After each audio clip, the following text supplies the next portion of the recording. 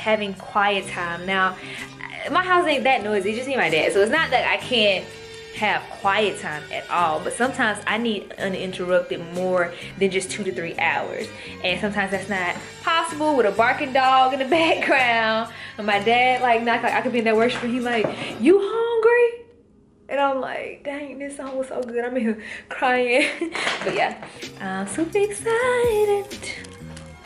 And I just can't and it's time to myself.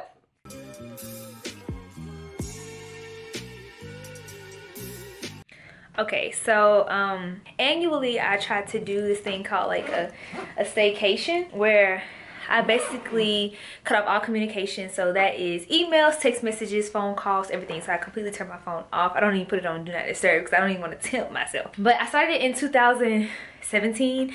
Didn't quite get that done in 2018. Uh, did I tell you like why I needed it like uh, in January 2019? Because I didn't get it done. But however, the first time that I did it, I did it for my birthday. I rented a room, went to the spa, ordered room service, sat by the pool, read a book, like all these different things. So now this time I needed it. I needed that time to myself. I Unfortunately, I do not stay by myself at this time, so I can't like tell everybody in my house to like be quiet, you know, I can't do that. Um, so what I do is I just save up to afford myself the opportunity to, to get away and to have time by myself. Well, not really by myself because it's me and Christ. So basically, I play my worship music, I dive into my word. I don't do anything that's tied to any of my creative projects. I don't do anything that's business oriented, that's work oriented, that has anything to do with anybody else other than myself. It is fulfillment for myself. So uh, this time, I decided to rent an Airbnb because they're a little bit cheaper, slightly, kind of sort of And then, I mean, and even aside from that, you get more space. So even if you're playing like the equivalent, you still get more space. Like I'm in an entire house right now. So I'm gonna give you guys a tour. Just hold up. Okay, you guys, so how cute is this house? Like, it's just so adorable. I love this bungalow. It's so cute. So you come into the house. This is like the den slash, yes, the den slash living room area space. Then right adjacent to it, uh there is this cute little table. This is the dining room. I love this table set. This is literally something i would put in my house because i love like neutral colors and anything that i can consistently switch up i'm an advocate for. So you come over have my favorite peppermints. Amen amen. Uh then there's the kitchen full kitchen. Don't mind the junk. I gotta eat, y'all. That's kind of my stuff. They didn't leave that there. Uh, and then there are some snacks over here. So the Airbnb that I'm staying in, my coworker actually owns. So she asked me prior to what are my some of my favorite snacks. So she got me pretzel sticks, uh, some mangoes. I'm obsessed with mangoes, and she got me some apples. And then I bought some like water and chips and other stuff. And there's just like storage space back there. So let's go back to the bedrooms. Do do do do do. Okay, so this is like the master bedroom. Love it. Love it. So you guys, again, like look at all of the space that you're getting compared to a hotel room. So I got that. Then there's like the bathroom. Yes. It's a very simple restroom. And then you have an extra bedroom with two beds in here as well.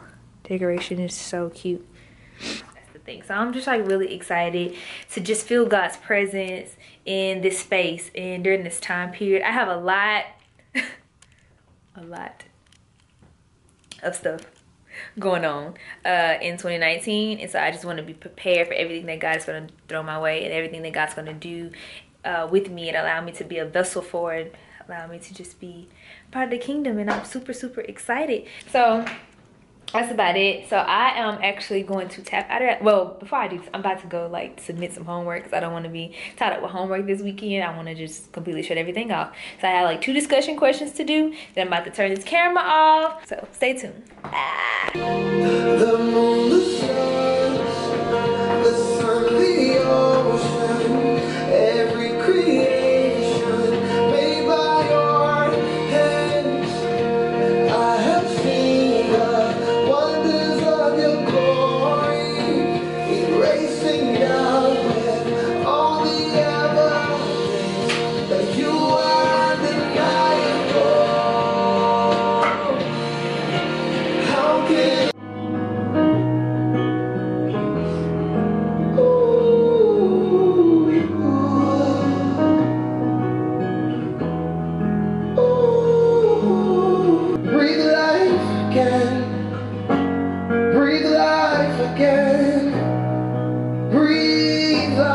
Again. I don't wanna keep pleasing my own desires.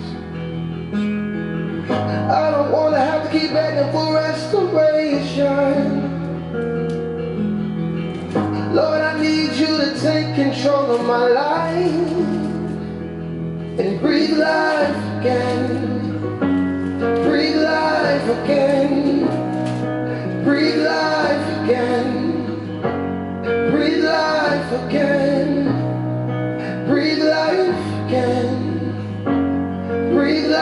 Life again, Lord. Breathe life again. Revive again. Breathe life again. Breathe life again. Breathe life again, please. Okay, so uh, this experience has been really great. I remember like the last time when I was in the hotel, like I was crying, I'm in worship, I'm journaling, I got the view, like it's amazing. This time, uh, it was more like God, like, listen, you got it for one, and for two, you know what you need to do. Like it was just simple as that. He was just like, Taylor, you got it.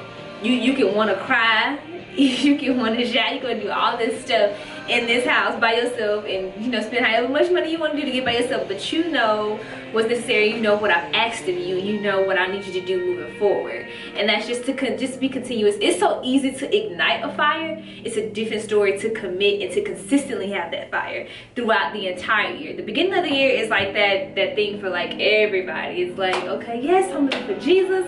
I got all the momentum in the world. Like I'm joining groups, like all this stuff. But then come May, June, September, October, it's a totally different story. And so that was my issue. I was like, okay, all right, like, I don't want to go back to that place. It's not that I was just like doing this tremendous amount of backsliding, but I was just stagnant. I was just like, okay, where's my boldness in April? Where's my boldness in September? Like it's just kind of dying down. It's like, well, I mean, I go to church. I mean, I do serve. I mean, I do do what I'm supposed to do.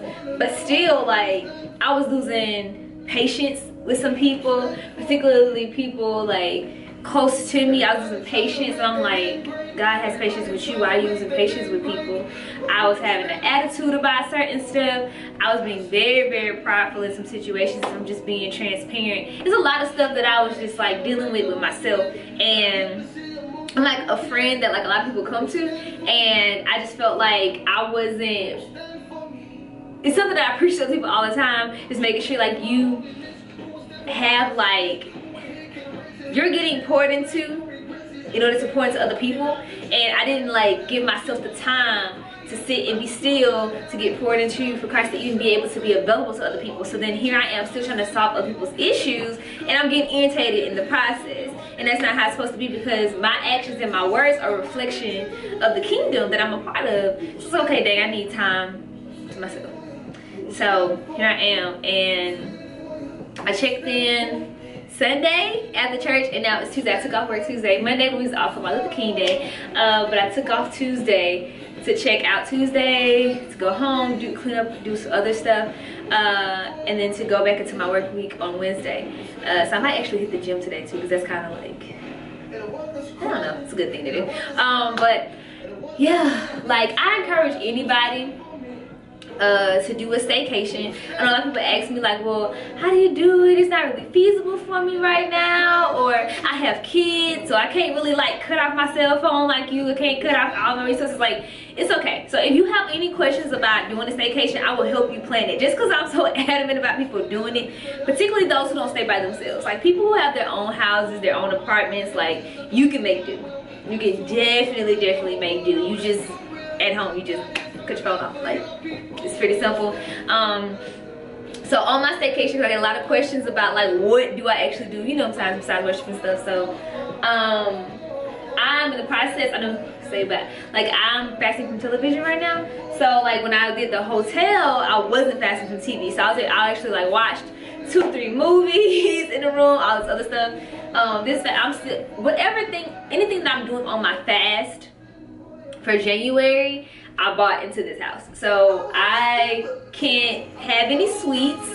Uh, and I do not watch television and I'm not able to just consistently like be strolling on Instagram and stuff like that. So yeah, I pretty much bought all that same stuff like into the house. So I didn't, though this is a very nice television and I know there's probably like great stuff on it, I did not turn that TV on.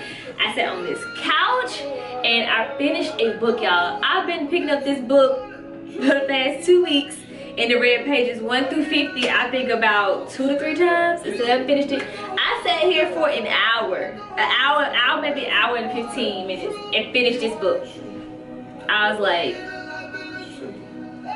this is ridiculous. It's just crazy how distracted you are when you don't have when it's not like silence. So I finished that book in an hour 15 so I was like okay I'm gonna challenge myself to finish other books that I need to finish.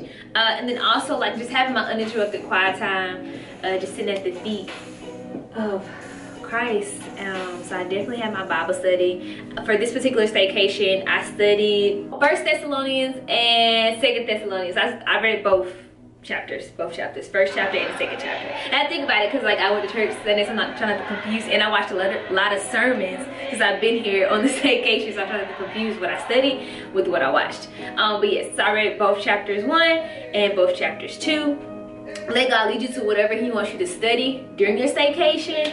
Um, don't be so be if you guys do it be so intentional about it that's the thing like be so intentional because the thing is like it'll be a waste of your money a waste of your time and everything in between. If you get here and you're still adamant about being on your phone you still want to check everything you still letting the stresses of the world like when i step foot in here anything that mind boggles me like i was sitting here and i was thinking about something about class and i said girl get out your head. And then something else hit me. It was like well you when you get back to work you gotta do this. And i was like uh-uh no we're not doing this. We're not doing this. I cannot get consumed with really stuff while i'm in this space. That is the whole purpose so what i did i turned my phone on do not disturb uh, I do check in to let my parents and my boyfriend know that I am safe. So every night I'll text them because I didn't want to hear anybody else's voice but God. So I didn't like last time I like would call my parents like, hey, I'm good, and I hang up. This year I was like, uh-uh, I don't even want to hear anybody else's voice. If it ain't God's voice, I don't even want to hear. So what I did was I actually sent them just a text message and just be like, hey, I'm getting ready for bed. I love you guys, blah blah blah. And they text back and say, hey, love you too, da da da. And that's it. And I did it for the both nights, Sunday night and Monday night. And it's good. They have the address of the home that I'm at. Um, it's like, I don't know, it's like the best thing ever. Uh, but yeah, so if you guys would like to do a staycation and you need advice as to how to plan it, how to make it as feasible as possible, um, how to do it based off whatever you got going on in that season whether it be a struggle with your financial resources whether it just be like okay um I don't know, it can really be anything because I don't know. Life hits people in different places and spaces, but it's definitely doable. It's doable for any and everybody. Um, and you may not be able to do two days. When i did the hotel i did one day. I like went to the spa and then checked into my room. By the time i was done at the spa it was time for me to check into my room. So i did it that way. So i, I started my staycation the moment i got in my car and left my house. Uh, that's the way i did it like because that was like my solitary so i just like went to the spa and then came back upstairs checked in at the front desk because the spa was downstairs in the hotel. And then i just went up to my room and then from there it just started. And i don't i don't clock out of my vacation until like an hour prior to me departing. So let's say like here I have to leave at 11. So I don't respond to text messages, phone calls, well, phone calls until I get back home. But text messages, if it's something important, like I start responding like maybe like 10 a.m., like an hour prior to me leaving here just to get my mind back to reality. Uh, but don't take the time that you have in your staycation for granted. Take everything that you sat on, every thought that came to your mind, take everything, take it into consideration and take it moving forward like through the rest of the week and through the rest of the year and through the rest of life. Because then it's like you're just setting yourself back. So I don't know. So yeah, yeah, yeah, yeah, yeah. So I look forward to my staycation for uh 2020. Um Baba will go back to a hotel. Uh I don't know, I love this Airbnb. I really, really do. I love it. But um, I'm gonna make the one for 2020 close to my birthday again and do like the spa and the poolside things, like that. Cause I love body of water. I love water. So I don't know. God willing, I hope I can be like in a hotel by a beach or something. like that'd be amazing. Cause I don't know, I love reading books by bodies of water. It's just like this thing. Like I don't know. I don't know. Maybe it's like a woman thing. I don't know. But uh, either way, definitely let me know if you need help planning your staycation. Like you can DM me on Instagram, Taylored for Taylor, T-A-I-L-O-R-E-D, F-O-R-T-A-Y-L-O-R. That's a lot. Taylored for Taylor. Um, you can also hit me up via email for the GX. It's Taylor. Well, let's not do Taylor. Let's do info at. Uh, let's do info. I-N-F-O at it's the GX.com. So it's I-N-F-O I-T-S-T-H-E-G-X.com. And I'll definitely email you back and we'll try to like get something planned out. Um, eventually, I want to do like a staycation giveaway, maybe like a stipend. Or maybe I don't know some type of financial contribution to someone I feel like is serious about their staycation so you guys just make sure you stay tuned for that because if I do one it'll definitely be posted on the It's the GX Instagram. So you definitely have to follow it to win it. Um but yeah that's about it. So i love you guys. I'm in prayer for you guys. Please stay in prayer for me and my journey. And i look forward to what god is doing in all of us. And yeah have a great day because i'm getting ready to um, check out. Yep. Bye. Okay, so I'm back at home, right, y'all? So let me tell you what happened. Uh, wait a minute. Something ain't right. So I left the Airbnb. I had to make back to the house, but before I went home, I had to go to my school.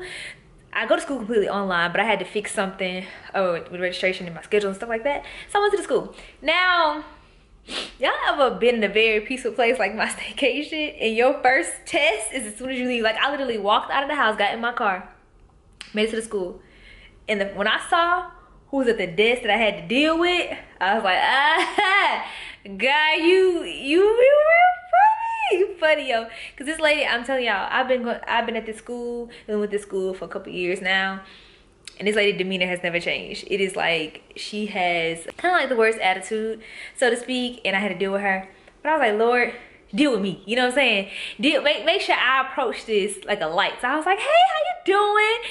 The asked all my stuff. Like the, the situation could have went left. Like it could have. Her demeanor is just so it's so discouraging to students. Like i mean luckily i'm in a different place. Like i'm just kind of an adult i just technically an adult learner at this point.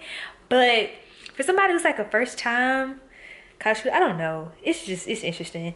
But I passed the test. I passed the test in patience in traffic. I passed the test, you know, since since I done made it for my staycation. And I'm gonna keep passing them all week. You heard me?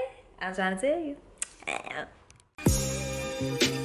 Hey, don't forget to subscribe to my channel, Taylor Alexus, and follow me on all social platforms at It's Taylor Alexus. That's Twitter, It's Taylor Alexus, and Instagram, It's Taylor Alexus.